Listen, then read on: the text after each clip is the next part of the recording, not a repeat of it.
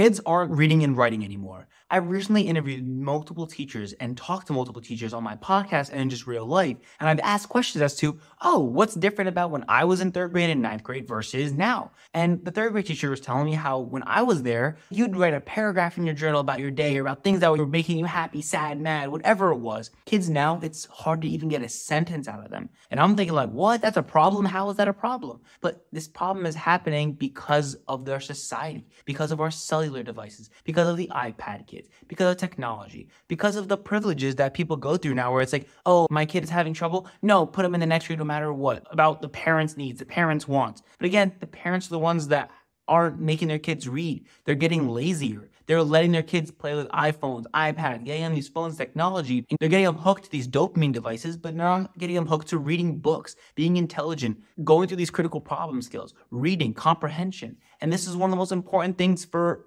development as a child. It's how you see more words. It's how you learn how to express yourself. Writing things down is so important for your knowledge and your growth. But now, if you're typing everything, it's not the same as physically writing things down. What happens to cursive? What happens to actually being able to use phonics? What happens to all these different things in language? And apparently in Florida, reading is now an elective. It's not a main core class. So for example, the five main core classes were math, science, reading, English, and social studies. Now, take away reading. Those are only four core classes, but I remember reading was very different than English. And it's important to have that. But now doesn't exist anymore, and you wonder why kids aren't reading and mm-hmm. writing. Kids aren't reading and writing in elementary school. They'd rather have their attention to the phones, and that is a problem. And it's not allowing them to develop properly. There's too much hyperstimulation to their brains. And even then, we went from what? leapfrog to iPads, that's a huge issue. Teachers have been screaming, shouting to the world that there is a problem,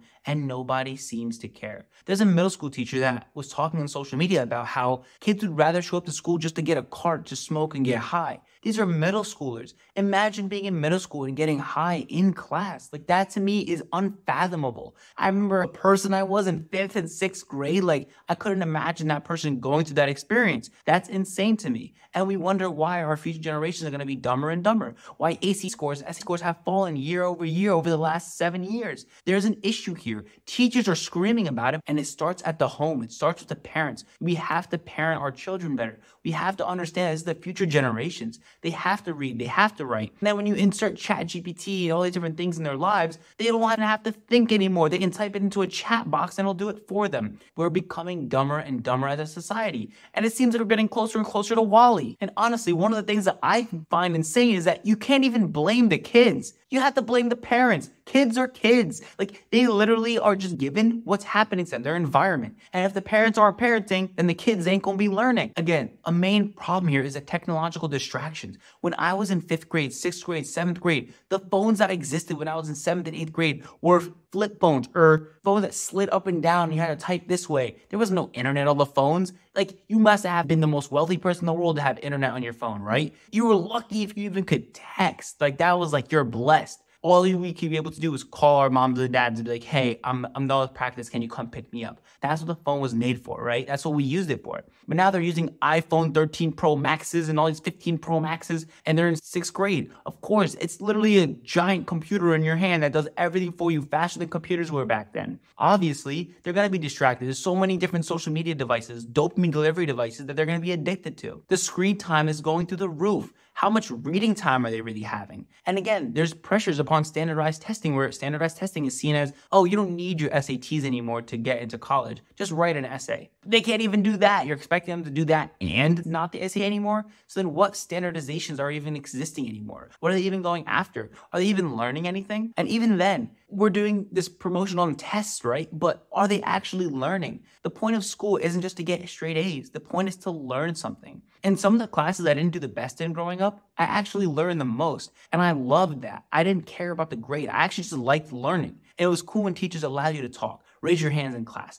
discussions. I love that part. But nowadays, a ninth grade teacher on a recent podcast I had told me, hey, in your class, you guys love doing group work. After COVID, what happened? Oh, kids rather put their headsets on, earbuds in, and do work solo, independent. But for me, I don't know about you guys again, but I remember I'd be like, hey, you do number one, uh, you do number two, I was number three, and oh, yo, you do number four. So we'll all uh, get each of them done, share it, and then we'll share the answers and then just talk the rest of the class until everyone else is done. I was sitting there trying to gamify it and make it easy for ourselves, right? Because you want to get things done, work together, and then chill. But now people would rather just do all the work alone. Imagine that. And again, there might be an extracurricular overload. There's so many clubs now. There's so many different things, groups to join, things to do. But it doesn't leave time for that free growth, that creativity, the learning, the reading. So maybe that is a part of it as well. But again, technology and access to it, going from physical books to ebooks, going from internet as a source rather than needing to go to the library. I remember when I was really young, I would have to go to the library to find book sources. Now all the sources are online. And that happened as I was in school, where we went from only book sources to then the teachers allowing